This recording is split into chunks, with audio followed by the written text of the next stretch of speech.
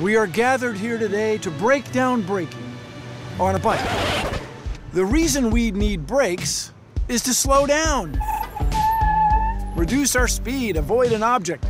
As my old pal Isaac Newton put it, objects in motion tend to stay in motion unless acted upon by an outside force.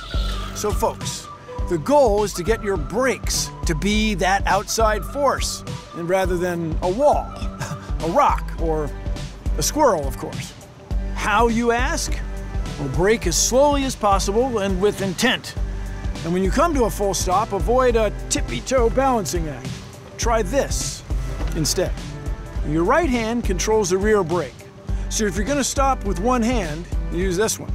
Your left hand controls the front brake.